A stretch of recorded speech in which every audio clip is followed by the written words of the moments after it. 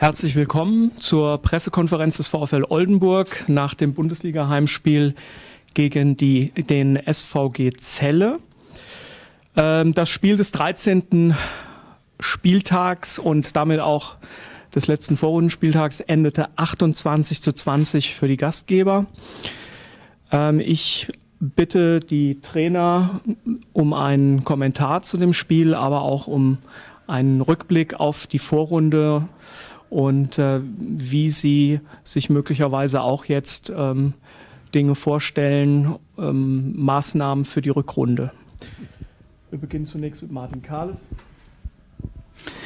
Ja, schönen guten Tag. Ähm, zuerst einmal Glückwunsch, Leszek, zum Sieg. Ich denke, sehr verdient und äh, auch in der Höhe. Wir haben eigentlich eine gute, gute Anfangsphase gehabt, die ersten 20 Minuten, lagen mal 8-3 hinten, haben uns dann aber wieder rangekämpft und dann ist so aus meiner Sicht äh, so eine Schlüsselszene passiert bei 9-7. Verwerfen wir frei vom Kreis, haben dann nochmal die Möglichkeit, einen Gegenstoß, erste Welle, einen langen Pass, der eigentlich kein Abwehrspieler dabei war, auch weg.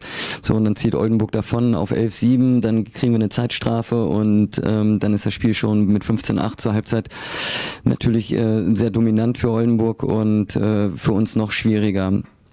Und ähm, letztendlich äh, kann ich sagen, dass meine Mannschaft nie aufgesteckt hat, auch aufgrund, auch wenn der Rückstand hoch war. Ähm, aber dann muss man sagen, dass doch die Fehlerquote zu hoch war und äh, war vielleicht auch ein bisschen viel Hektik im Spiel. Und das äh, dem, dementsprechend ist wahrscheinlich auch kein schönes Handballspiel zustande gekommen. Ja, das erstmal zum Spiel. Dein Kommentar? Mm, ja, ich bin äh, zufrieden mit unserer Abwehrleistung. Wir haben uns heute vorgenommen, hm, viel, viel weniger äh, Tore zu kassieren.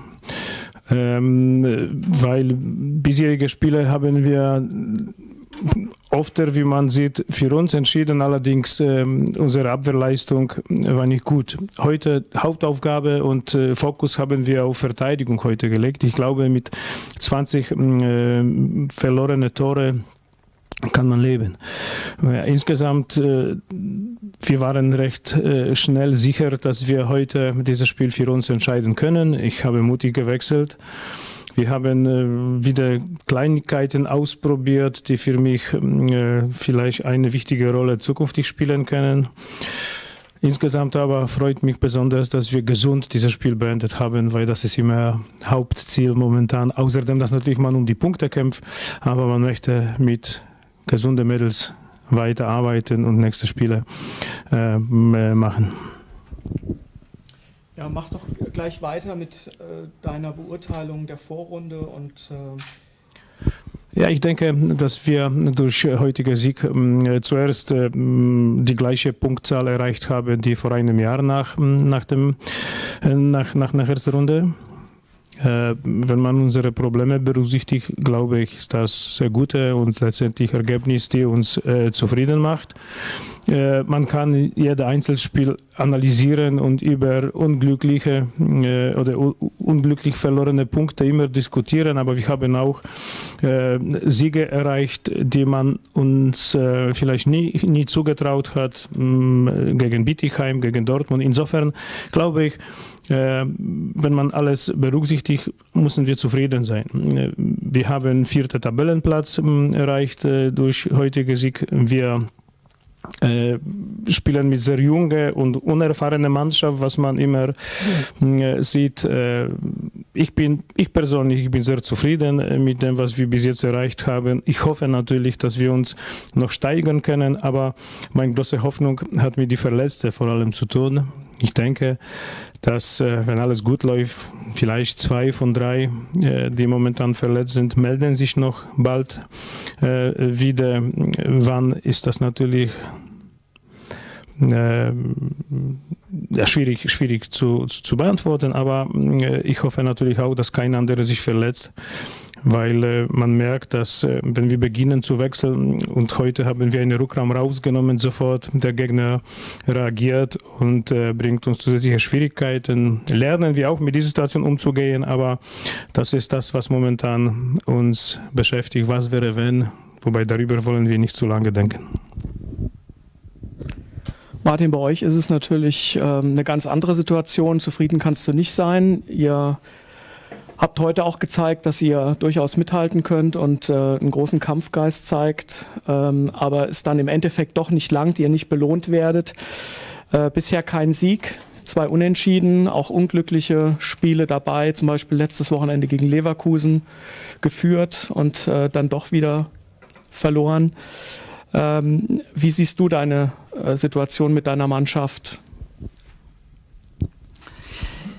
Ja, letztendlich unterscheidet uns natürlich viel in der individuellen Qualität. Ne? Und ähm, auch gerade, das sieht man ja heute auch, wenn man so teilweise Würfe von uns anguckt, äh, die können nicht erfolgsversprechend sein. Äh, da, das können wir zehnmal probieren, äh, so zu werfen, aber die, die Wahrscheinlichkeit ist sehr gering. Und wir müssen da halt einfach ähm, zusehen, dass wir, jetzt ist Oldenburg auch nicht unsere Kragenweite, ne? das muss man auch sagen. Wenn wir gewinnen wollen, dann muss viel passieren. Wir müssen selber gut am Limit spielen. Das haben wir gegen Leverkusen 45 Minuten gemacht. Die Chance zu Hause ist natürlich noch größer als auswärts. Und dann haben wir äh, so drei, vier Mannschaften, denke ich, mit denen wir auf Augenhöhe sind. Äh, einen großen Teil kriegen wir davon auch zu Hause. Und ähm, dann gilt es halt weiter. Das ist für die Mädels keine einfache Situation, Woche für Woche zu trainieren. Und aber ich denke, dass wir äh, unseren Moment noch bekommen werden und äh, dann auch für den Trainingseinsatz und auch den Aufwand, äh, den wir betreiben, belohnt werden. Gut, ähm, gibt es Fragen? Nein. Dann möchte ich Leszek bitten, noch einen kleinen Ausblick auf das Spiel am Mittwoch zu machen. Es geht ja gleich weiter. Ja, uns erwartet wieder keine einfache Aufgabe, äh, nur weil Geppingen gerade äh, unten äh, da äh, gerade steht. Das ist eine Mannschaft, die mit sehr vielen erfahrenen Spielerinnen äh, spielt.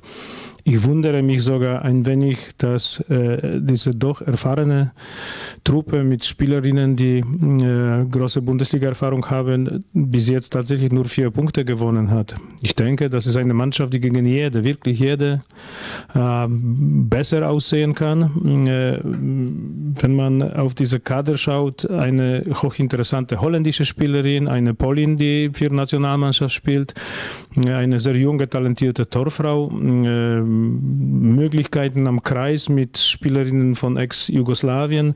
Äh, auf Rückraum auch zwei, drei äh, Alternativen, die meiner Meinung nach sportlich wertvoll sind. Insofern, wir müssen uns, äh, heute dürfen wir uns freuen, aber eigentlich ab morgen, was wir auch vorhaben, werden wir uns mit Geppingen beschäftigen, trainieren, Videobesprechung machen. Uns bleiben nur zwei Tage für direkte Vorbereitung, aber das ist eben Bundesliga, wobei alle, die erwarten, dass hier einfache Geschichte passiert, glaube ich, äh, machen große Fehler. Wir müssen uns richtig neu einstellen, nochmal nachdenken, was heute gut und was schlecht funktioniert hat.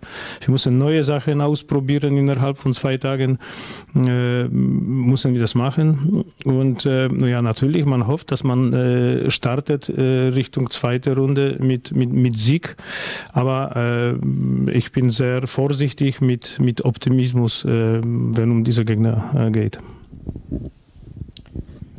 Gut, ähm, dann danke ich an dieser Stelle den Trainern. Für euch geht es am Samstag nach Dortmund, also auch ein richtig schwerer Brocken. Vor drei Wochen gab es äh, eine Pokalpleite, eine ziemlich deutliche Niederlage. Äh, dafür trotzdem alles Gute, auch für die Rückrunde, dass es dann doch im Endeffekt langt. Ähm, wir sehen uns dann am Mittwoch um 19.30 Uhr zum Heimspiel gegen Göppingen. Ich wünsche euch eine gute Heimreise. Danke euch, dass ihr euch hier zur Verfügung gestellt habt und äh, danke für die Aufmerksamkeit. Danke. sehr.